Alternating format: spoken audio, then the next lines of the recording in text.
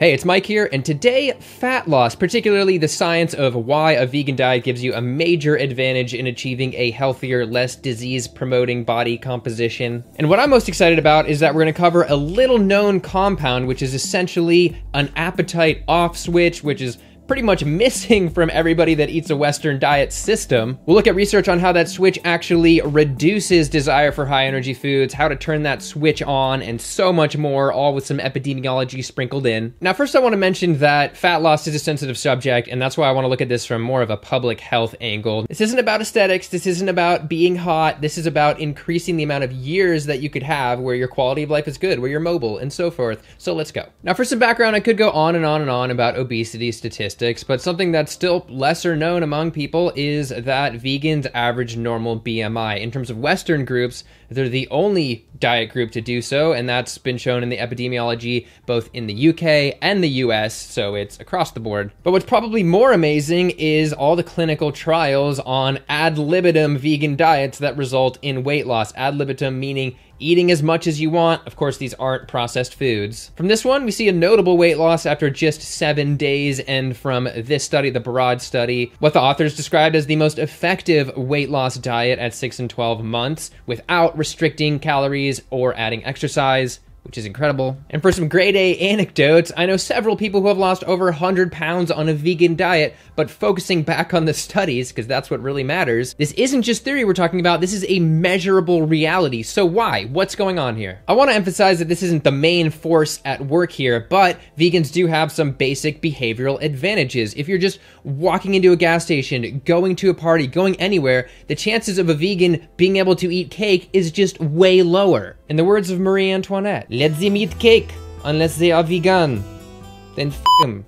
Though that is changing, vegan junk foods and snack foods are becoming much more ubiquitous, but the main difference here is the attributes, the qualities of the foods that are making it into vegans' mouths versus other people. And possibly the most powerful body trimming tool in the vegan diet, other than maybe just relinquishing all animal fat, is Fiber. I know it's just fiber. Yeah, we'll get to the exciting appetite switch stuff in a second, but first we gotta cover the basics. Firstly, in the US, about 97% of people do not get enough fiber, according to the Institute of Medicine. They are fiber deficient. And this is such a simple point, but fiber rich foods have more volume for the amount of calories they have. And so if we're zooming in on the stomach, we have this network of neurons wrapping around our stomach that go, oh, I've eaten enough volume, my stomach is getting full. Then it sends signals to your brain and says, don't eat anymore. And across the board, animal products are high in energy and fat and low in volume. They are devoid of fiber, and therefore it takes a lot more to fill up your stomach and tell your brain,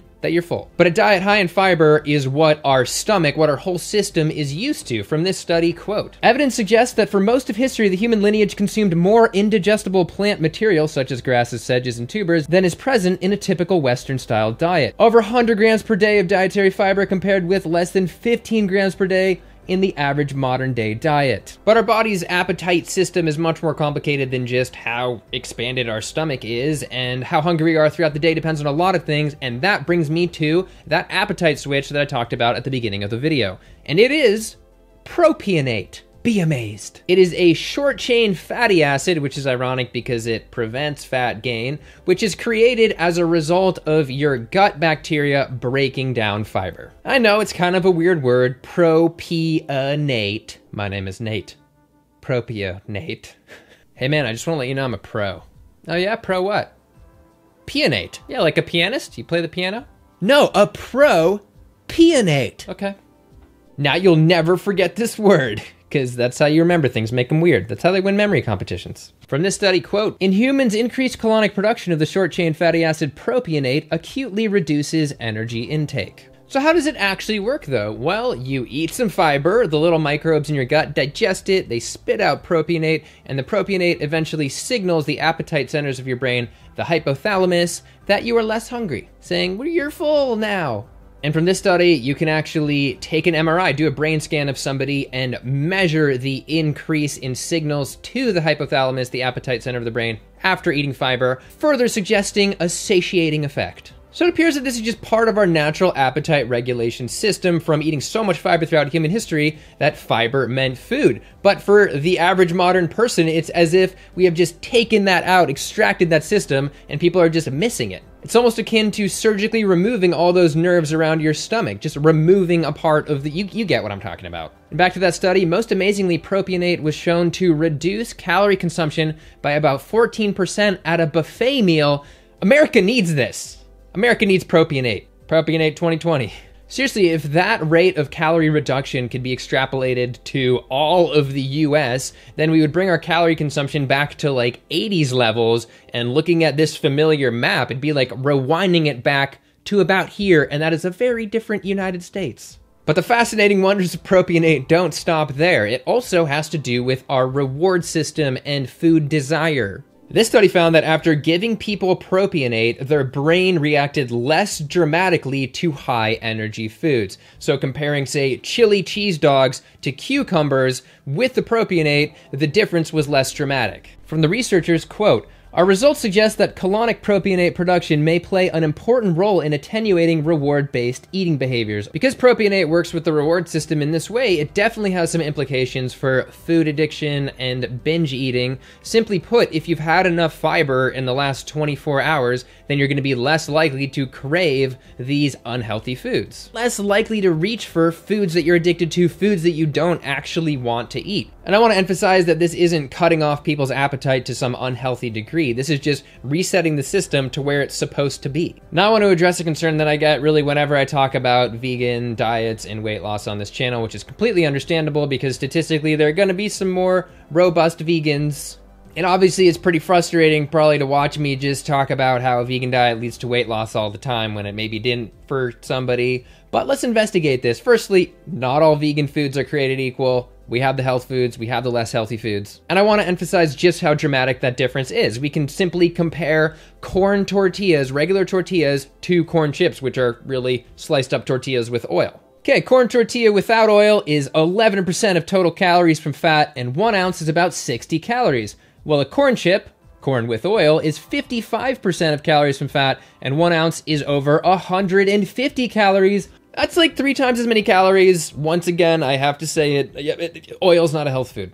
In theory, you could eat almost three times as many corn chips as regular corn tortillas until you get the same appetite triggers, until you get the same amount of fiber, and so forth. And this principle of oil plus food equals just way, way, way more calories applies to all sorts of foods, just cooking foods in oil, fries, or just potatoes with oil.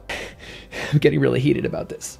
And maybe you do require a higher fat food to feel completely satiated, whether you are a vegan coming off a standard American diet. And so let's compare some whole plant high fat foods versus some animal foods, for example. Let's just compare one ounce of avocado versus one ounce of cheddar cheese, America's favorite cheese.